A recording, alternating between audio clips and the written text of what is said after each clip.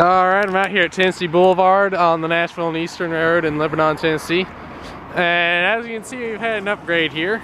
Also, side note real fast, Spring Street has uh, had its dying Modern Industries mechanical bell replaced the General Signals E-bell. But right here we got a brand new cantilever. It's from Progress Rail, as you can see right here. The emergency information dot number is 348845H.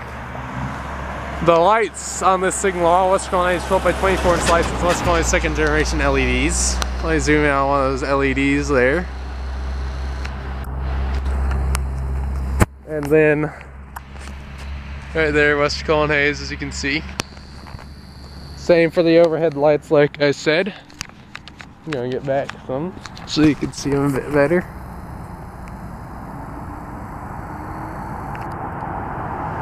Now I'm gonna hop on across the street here shortly once all these cars pass. So there's kind of a rear view of the cantilever.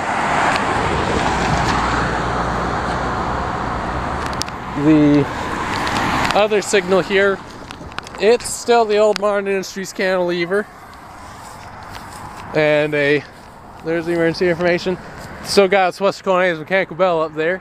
But as you can see, the lights are also now more Western Hayes 12 by 24 inch lights with Western Hayes second generation LEDs in them.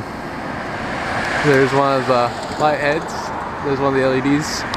So now here's the back view of one of the lights where you can see it's Western Hayes.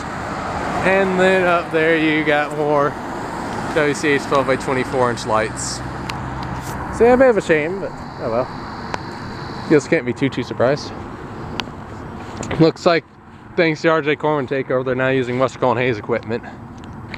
So yeah, also speaking of the RJ Corman, here's the new RJ Corman Nashville and Eastern sign for those who want to see it.